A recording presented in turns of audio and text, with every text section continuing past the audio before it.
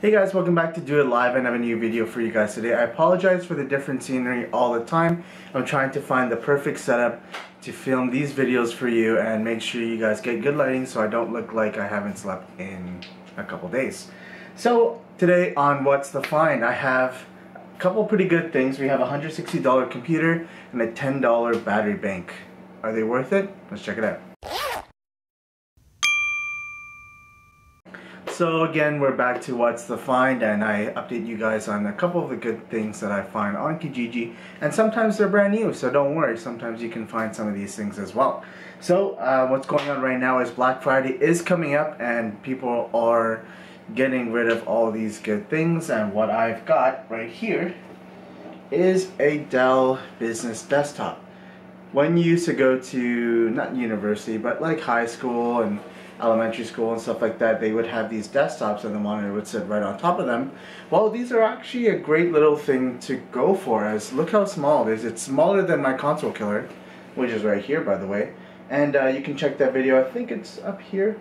The video's gonna invert, but just click the eye in the card above to check out that $500 console killer. But this thing kills that in some aspects. Um, this is $160. That's how much I got one of them for. I actually have four of them, and we'll cut to the other three in a second that you guys can take a look at.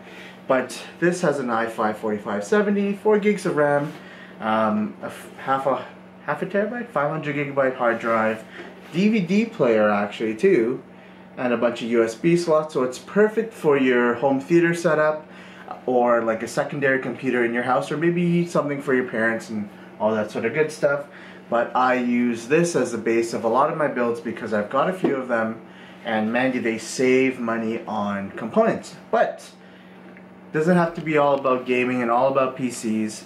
This is great for if you, you know, if you're a university student or a business working person, you need Microsoft Office, PowerPoint, all that stuff. You can also do Photoshop, no problem with the integrated graphics on these things. You just plug it in, you get to go. They come with Windows 7 as well, which is a great little thing to have.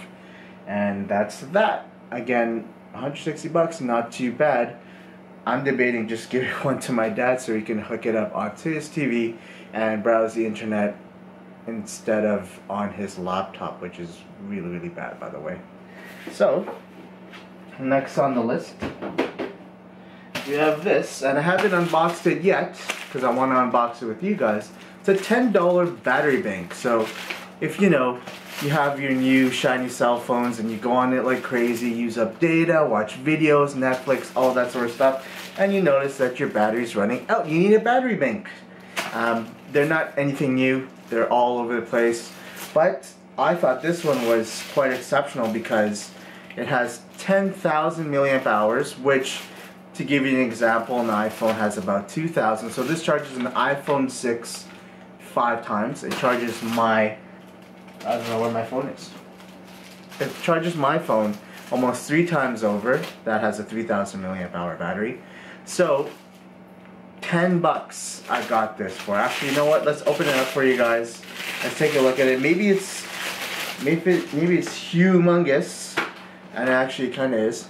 But 10,000 milliamp hour, if you know you're to run out of juice, at some point throughout the day you can carry this around or have this maybe in your office or in your car so that just in case or just in dire situations you can charge your phone with this. $10 for a 10,000 milliamp hour battery. That's insane because back in the day when I worked at Future Shop and I got discounts, I got Nadley a 5,000 milliamp hour battery um, battery bank and that costed me 25 bucks which at that time was like, whoa, 25 bucks? That's really cheap. I might as well get a few. So to have double the capacity for less than half the price, that's pretty good. So let's open it up. It's by a company called Link E. And hopefully this video will make it out in time for Black Friday because this is one of the lightning deals on Amazon.ca. So it's $10 Canadian, even cheaper in America. So definitely, if you've been thinking about getting a battery bank, and I already broke the packaging, definitely look into something like this because those lightning deals, if you have Prime, it's one day shipping, so you get it pretty quick, just like I did, and you'll have something somewhat usable, and you didn't even break the bank. See what I mean? Battery bank. Gotcha. So, this thing is quite big, and um, I want to compare it to my phone. Do you mind passing me my phone? I do have someone behind the scenes here, but she prefers not to be on camera. Hello there.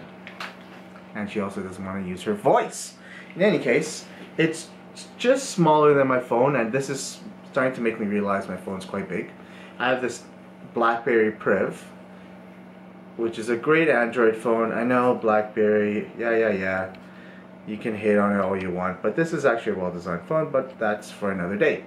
So as you can see, this is smaller than my phone in terms of height, but definitely thicker, like maybe about three times as much. But the face is definitely smaller. Take a look like that. Focus you. Focus.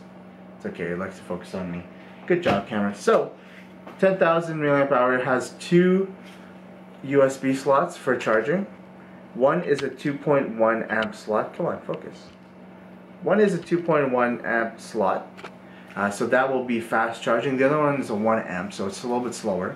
But at least you can charge two devices at once. And the great thing is if you have an Android, this uses the same cord as an Android uh, phone. So the micro USB B standard, and you can charge this and charge your phone with the same cord so you don't have to carry multiple cords. So this is nice to have in the office if you're going to run out of juice throughout the day.